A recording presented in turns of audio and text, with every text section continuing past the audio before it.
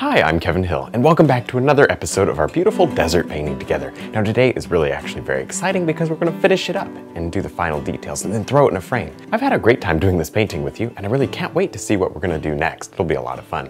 But for now, let's go ahead and finish up on our desert painting. We'll start off today here with a little bit of yellow on our, on our little detail round brush. All right, I've got a little green sitting around, and I've been painting earlier today, so that's why I have a little bit of color mixed here. Okay, I'm going to drop in some highlight here and some detail. Now, of course, this is all dry. This was done last week, and our light's coming through like this, so with that in mind, I'm going to highlight our cactus. This is the most important one. The rest I'm not going to be nearly as concerned about. The ones over there. The ones over here are the ones that I'm worried about. Now this one's turned. Remember this one, how it's kind of turned? There. All right, now I'm gonna, let me show you my palette here. I'm gonna lighten up the color with a little bit of yellow and white. And I'm gonna get what I call a little sunlight golden color. And I'm actually gonna slice that color right along the edge of some of these, not everywhere. This is a highlight on a highlight. Which is generally called like a little accent highlight. There. You can put them in first or second, doesn't make a whole lot of difference. Uh, let's see here, maybe one right there.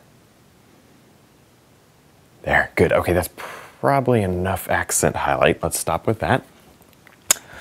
And I'm, i like this feeling of green in here, so I'm to pop just a little bit of green in because we're close enough now that you know, we probably would see some true colors and not just sun reflecting.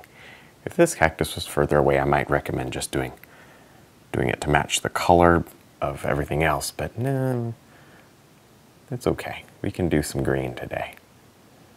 There, got some brown in here. You've got to vary your colors. If you don't vary your colors, you're going to have a boring painting, right? We don't want boring paintings. No, we want cool paintings. We want exciting paintings with a lot of life, color changes, and detail. I'm trying to sort of save a little bit of that, um, that original shadow color that we threw on the back side. If I eat it all up, I'll put it back in, but I hate to waste my time. There. Hmm. It's okay to have some of these super dark. That's totally acceptable. Yeah, see that? Just keep some of them real dark. Sharpen the edges up, you know, put a little shadow on the inside because these guys are three-dimensional. Gotta have light, shadow, and all that good stuff sitting in there. I'm gonna go ahead and repeat the same exact process over here to this one. And I might go just a touch faster because it's a tiny bit further away. And I might go with just a little bit more golden yellow tones. I still don't want it too, still don't want it too vibrant or bright. Still want it pretty dark. There. Good. this is fun. I like painting cactus because it's something that's, you know, that I don't do a lot. We're going to stick just a little bit of this accent highlight right out on the top of these. See that? Because the sun is more directly right above. And I'm even going to change it to a little bit more of a golden color. That just helps to give the feeling of a little more light.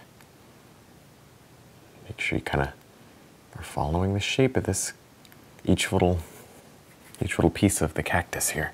Got to follow the shape, make it right.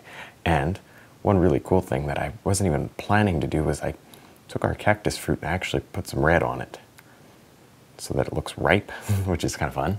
I like that. Kind of fun. Let me show you what I did. I just literally took some some red, really didn't mix it with anything. Maybe a little bit of yellow was on there, but I just touched it like this. See how you can kind of create some ripe fruit? And then to highlight, a little yellow, a little red, a little white. See that? I got a little pile right there. And I just touch on to highlight. Now I'm going to take our detail round and I'm going to go right through some yellow and maybe flip it around, grab some other colors. So we've got all sorts of things happening on this brush and here and there. Ooh, that's too dark on the back side. I like the top side, but the back side's a little too dark, so there, fun. I'm just gonna run in a little bit of this beautiful green. All that's gonna do is suggest desert plants in the background. That's it, that's all it's gonna do. We don't need a lot. I don't wanna get carried away. I don't feel like we need it, you know? I think it would just be distracting if you did too much. This is so far away. All we can see is color. So if all we see is a little bit of what feels like a touch of cooler green, I think that's enough. I think that's enough to tell the story that there are some plants back there. And honestly, maybe nobody would notice that we didn't do anything back there. But I feel like it just, we're gonna help the viewer out just a little, decide that there are plants back there. That's all it takes to I don't want to overwhelm the area. I just want to make it, make it feel a little bit more alive down here. That's it. Because I don't want to take away the beautiful, beautiful colors of our desert. And this green will do that. So don't let it do it. Just, just make it feel a little, little bit of life back there through use of color. Yes. Some plants in the wash, of course. There could be some. Not a lot, but some. Good. And I'm just to think about a slightly cooler green that we can just pop a couple of, couple of spots in the, in the darks. All right, well, I think we finally have a finished painting here. All I'm going to do now is sign it, and then we'll see what it looks like in our frame.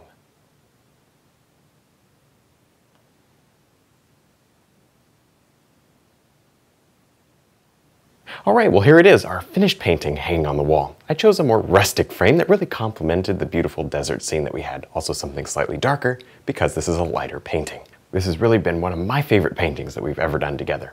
Now you can take this time to go to the website and vote for the next subject that you'd like to see, and we'll start a brand new painting next week. Thanks so much for your support, and thanks for watching.